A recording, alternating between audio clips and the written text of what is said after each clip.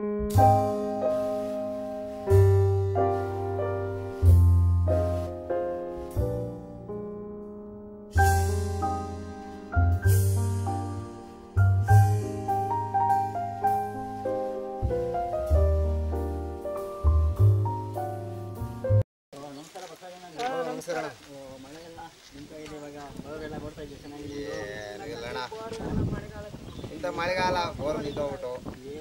ಎಲ್ಲ ಕಡೆ ಇದೆ. ನಾವು ತೊಗರಿ ತಗೊಂತಾ ಇದ್ದೀವಿ. ತೊಗರಿ ಬೀಜ ಲಾರಿ ಬಂದಿದೆ. ನೀವು ತೊಗರಿ ಏನ್ ಕೊಡ್ತೀರಾ? ಹಿಂಗೆ ಎಲ್ಲಾನು? ನಾವು ಈ ವರ್ಷ ರೋಗ ಬಂದು ಕುಲ್ಟ್ ರೋಗ ಬಂದು ಬೆಳೆ ಚೆನ್ನಾಗಿ ಬರಲಿಲ್ಲ ನಮ್ದು. ಅಲ್ಲ ಬೇರೆ ಕಡೆ ಎಲ್ಲ ಒಳ್ಳೆ ಇಳುವರಿ ಬಂದಿದೆ.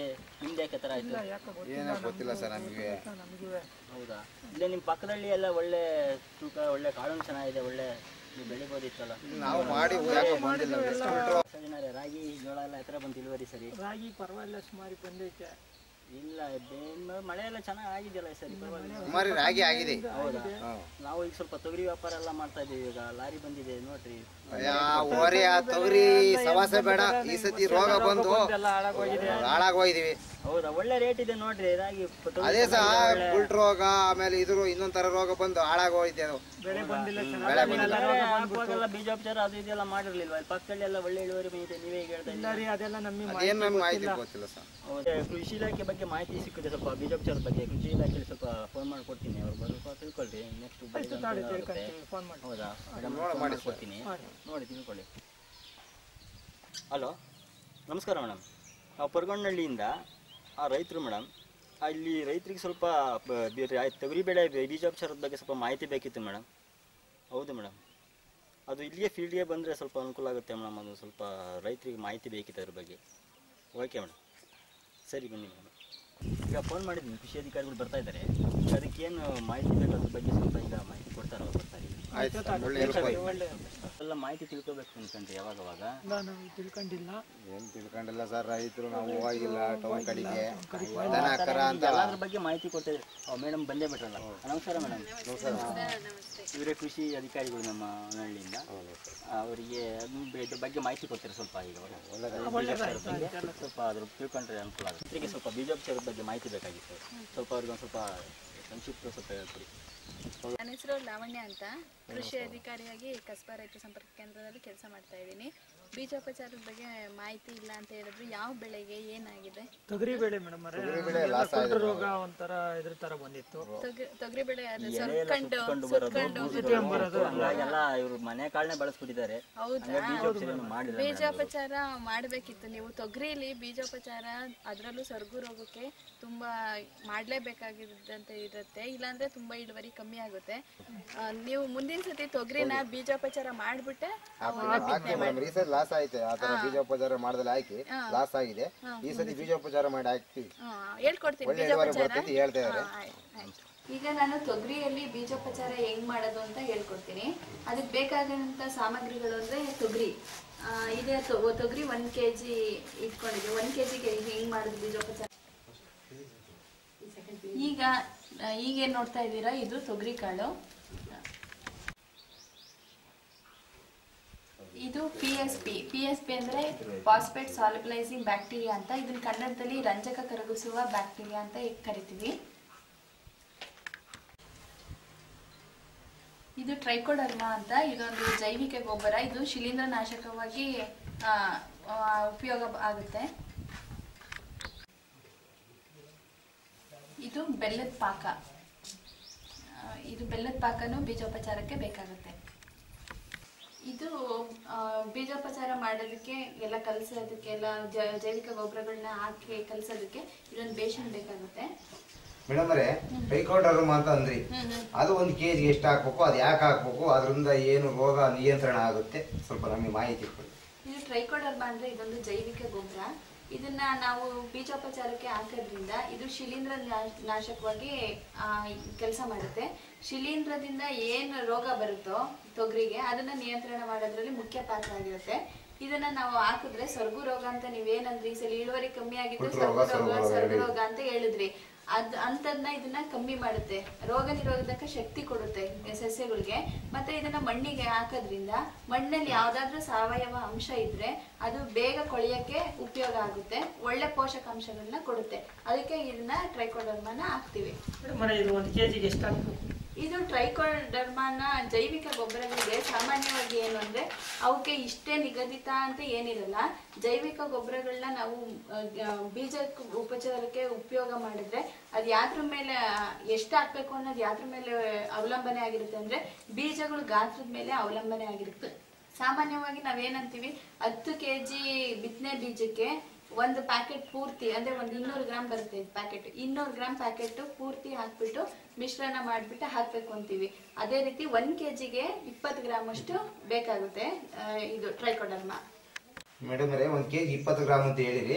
ಇಪ್ಪತ್ತು ಗ್ರಾಮ್ ನಾವು ರೈತರು ಇಲ್ಲ ಒಂದು ಅಂದಾಜಿ ಮೇಲೆ ಒಂದು ಸ್ಪೂನ್ ಆಗೋ ಇಲ್ಲ ಯಾವ್ದಾದ್ರು ಒಂದು ಅಳತೆ ಕೊಟ್ಟರೆ ನಾವು ಒಂದು ಕೆಜಿ ಇಷ್ಟು ಅಂತ ಆಯ್ಕೊಂತೀವಿ ಮೇಡಮ್ ಅವರೇ. ಒಳ್ಳೆ ಪ್ರಶ್ನೆ ಕೇಳಿದ್ರಿ.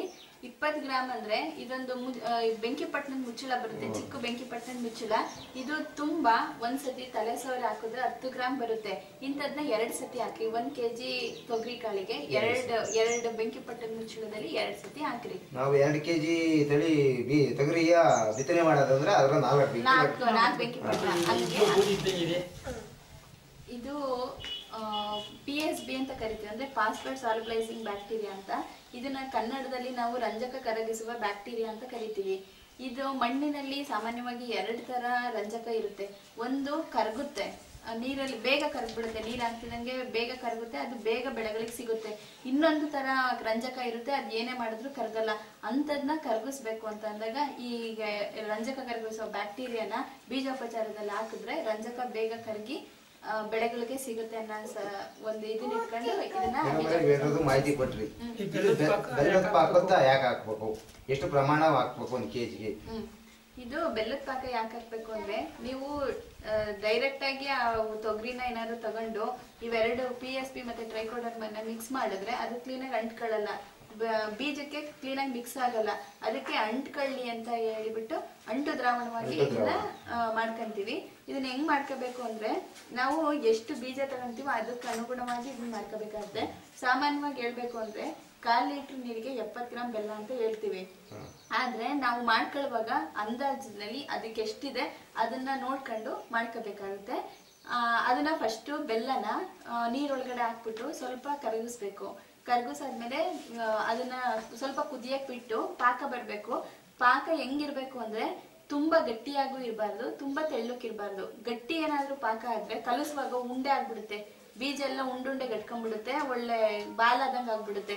ತುಂಬಾ ತೆಳ್ಳಕ್ಕಿದ್ರೂ ಅಂಟ್ಕೊಳ್ಳಲ್ಲ ನಾವು ಹಾಕೋ ಜೈವಿಕ ಗೊಬ್ಬರ ಅದಕ್ಕೆ ಅಂಟ್ಕೊಳ್ಳಲ್ಲ ಅದಕ್ಕೆ ಒಂದು ಅದ ನೋಡ್ಬಿಟ್ಟು ತುಂಬಾ ಹಿಂಗಂದ್ರೆ ಒಂದು ಸ್ವಲ್ಪ ಅಂಟ್ಬೇಕು. ಅಂತ ಅದ ಬಂದಾಗ ಇಳಿಸ್ಬಿಟ್ಟು ಇದನ್ನ ಆರಿಸ್ಬಿಟ್ಟು ಆಮೇಲೆ ಬೀಜ ಬಿಸಿ ಇದ್ರೆ ಏನಾಗುತ್ತೆ? ಇದು ಬಿಸಿ ಇದ್ರೆ ನಾನು ಆಗ್ಲೇ ಹೇಳ್ದಂಗೆ ಟ್ರೈಕೋಡರ್ಮನು ಒಂದು ಜೈವಿಕ ಗೊಬ್ಬರ. ಇದರಲ್ಲಿ ಸೂಕ್ಷ್ಮಾಣುಜೀವಿಗಳು ಇರ್ತವೆ. ಪಿ ಎಸ್ ಬಿ ಅಂದ್ರೂ ಅದು ಅಷ್ಟೇ ಜೈವಿಕ ಗೊಬ್ಬರ ಆಗಿರೋದ್ರಿಂದ ಅದರಲ್ಲೂ ಸೂಕ್ಷ್ಮಾಣುಜೀವಿಗಳು ಇರ್ತವೆ. ಅವು ಹೆಚ್ಚು ತಾಪಮಾನ ಜಾಸ್ತಿ ಇದ್ರೆ ಅಂದ್ರೆ ಟೆಂಪ್ರೇಚರ್ ಅಂತ ಏನ್ ಹೇಳ್ತೀವಿ ಆ ತಾಪಮಾನ ಜಾಸ್ತಿ ಇದ್ದಾಗ ಅವು ಸತ್ತೋಗ್ಬಿಡ್ತವೆ. ಅವು ಸತ್ತೋದ್ರೆ ಏನು ಪ್ರಯೋಜನನೇ ಇಲ್ಲ ನೀವು ಹಾಕಿದ್ದು. ಅವು ಸಾಯ್ಬಾರ್ದು ಅನ್ನೋ ಕಾರಣಕ್ಕೋಸ್ಕರ ಇದನ್ನ ತಣ್ಣಗ್ ಮಾಡ್ಬಿಟ್ಟು ತಣ್ಣಗ್ ಆಗಿರೋದನ್ನ ಹಾಕ್ತಿವಿ. ಬಿಸಿದು ಹಾಕ್ಬಿಟ್ರೆ ಅದರಲ್ಲಿರೋ ಸೂಕ್ಷ್ಮ ಸೂಕ್ಷ್ಮಾಣುಜೀವಿಗಳು ಸತ್ತೋಗ್ತವೆ. ಈಗ ಬೀಜೋಪಚಾರ ತೊಗರಿಲಿ ಹೇಗೆ ಮಾಡೋದು ಅಂತ ನಾನು ಹೇಳ್ತೀನಿ. ನೀವೇ ಮಾಡ್ರಿ ನಿಮ್ ಸ್ವತಃ ಮಾಡ್ರಿ ನಿಮ್ಗೆ ಒಂದ್ ಅನುಭವ ಬರುತ್ತೆ. ನಮಗೂ ಅನುಕೂಲ. ಈಗ ಇದು ಒಂದ್ ಕೆಜಿ ತೊಗರಿ ಈ ತೊಗರಿನ ಹಾಕಿ ಈಗ ನಾನು ಹಾಕ್ತಿರೋದು ಟ್ರೈಕೋಡರ್ಮ ನಾನು ಮೊದಲೇ ಹೇಳ್ದಂಗೆ ಟ್ರೈಕೋಡರ್ಮ ಒಂದು ಜೈವಿಕ ಗೊಬ್ಬರ ಇದನ್ನ ಇಪ್ಪತ್ತು ಗ್ರಾಮ್ ಹಾಕ್ಬೇಕು ಅಂತ ಹೇಳಿದೀನಿ. ಹಂಗೆ ಒಂದು ಪಟ್ನಕ್ಕೆ ಹತ್ತು ಗ್ರಾಮ್ ಆಗುತ್ತೆ. ಬೆಂಕಿ ಪಟ್ನದ ಮುಚ್ಚಳಕ್ಕೆ ಇದನ್ನ ಎರಡು ಸತಿ ಹಾಕಿದ್ರೆ ಅದು ಇಪ್ಪತ್ತು ಗ್ರಾಮ್ ಬರುತ್ತೆ. ಹಂಗೆ ಇದು ಪಿ ಎಸ್ ಬಿ ರಂಜಕ್ ಕರಗಿಸುವ ಬ್ಯಾಕ್ಟೀರಿಯಾ ಇದನ್ನು ಅಷ್ಟೇ ಇಪ್ಪತ್ತು ಗ್ರಾಮ್ ಹಾಕ್ಬೇಕು. ಅದು ಎರಡು ಮುಚ್ಚಳಿಕೆ ಹಾಕ್ಬೇಕಾಗುತ್ತೆ. ಮೇಡಮ್ ಅವರೇ ನಾವು ಬರೇ ಕೈಯಿಂದ ಮುಟ್ಟಿರಿ ನಮ್ಗೇನು ಏನು ತೊಂದರೆ ತೊಂದ್ರೆ ಏನು ಇಲ್ಲ. ಇದು ನಾನು ನಿಮಗೆ ತೋರಿಸ್ಕೊಡಕ್ಕೋಸ್ಕರ ನಿಮ್ ಕೈಲೇ ಮಾಡಿಸ್ತಿದ್ದೀನಿ ಅಷ್ಟೇ. ತೊಂದರೆ ಏನಿಲ್ಲ. ಇದು ಜೈವಿಕ ಗೊಬ್ಬರಗಳು ಇದನ್ನ ನೀಟಾಗಿ ಕಲಿಸಿರಿ.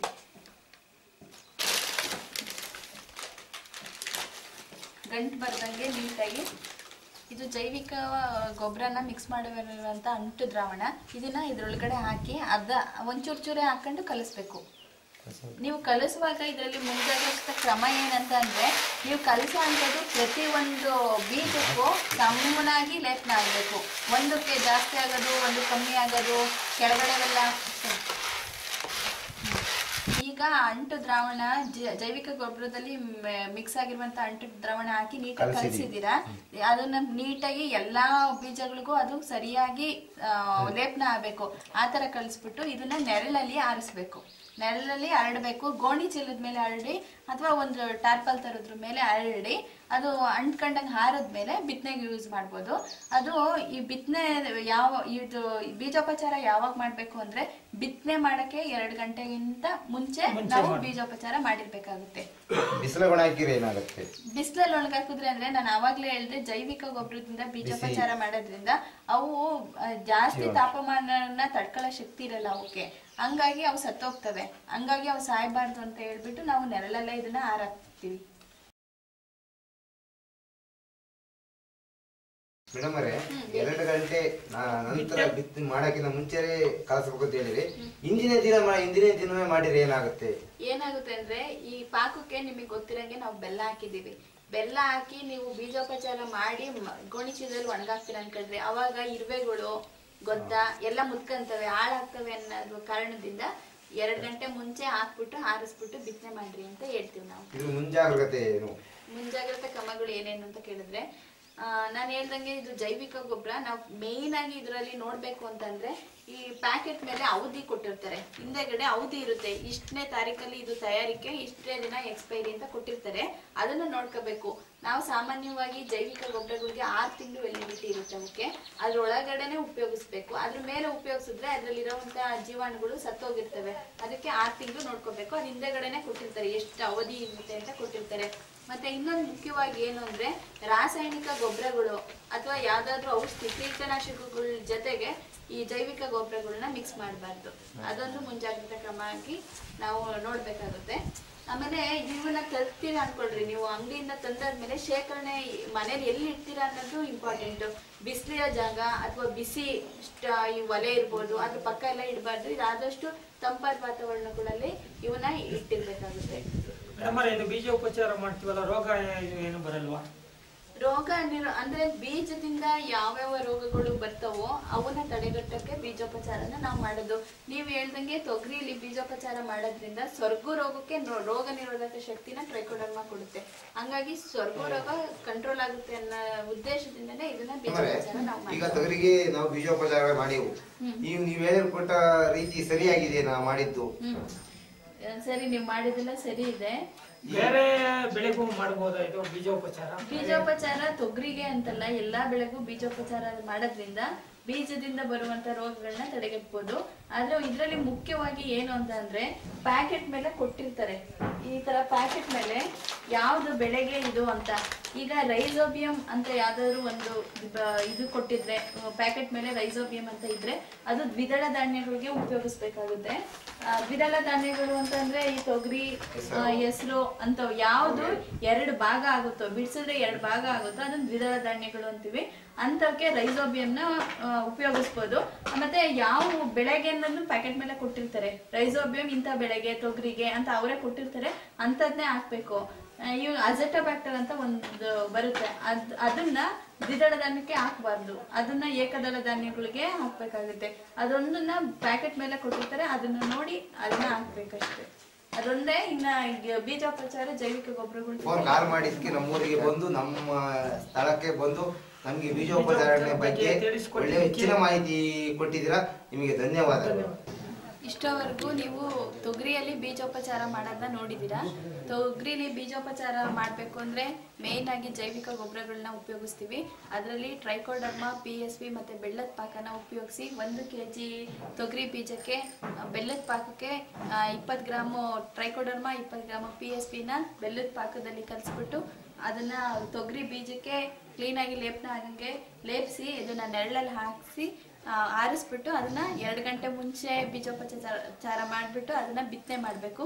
ಇದು ತೊಗರಿಗೆ ಮಾತ್ರ ಅಲ್ಲ, ಎಲ್ಲ ಗಿಡ ಗಿಡ, ಎಲ್ಲ ಥರದ್ದು ಬೆಳೆಗಳಿಗೂ ಮಾಡ್ಬೋದು. ಇದು ಕೃಷಿ ಬೆಳೆಗಳಿಗೆ ಮಾತ್ರ ಅಲ್ಲ ಇದನ್ನ ತೋಟಗಾರಿಕೆ ಬೆಳೆಗಳಲ್ಲೂ ತರಕಾರಿ ಬೀಜಗಳಿಗಾಗ್ಬೋದು ಎಲ್ಲ ಬೀಜಗಳಿಗೂ ಇದನ್ನ ಬೀಜೋಪಚಾರ ಮಾಡ್ಬೋದು. ಇದರಿಂದ ಬೀಜದಿಂದ ಯಾವ್ಯಾವ ರೋಗಗಳನ್ನ ಬರುತ್ತೋ ಅದನ್ನ ತಡೆಗಟ್ಟಿದ್ವಿ. ಮುಖ್ಯ ರೈತರ ಇದುವರೆಗೆ ನಾವು ಹೇಳಿದ್ದೆಲ್ಲ ನಿಮ್ಗೆ ಅರ್ಥ ಆಗಿದೆ ಅಂತ ಅನ್ಕೊಳ್ತೀನಿ.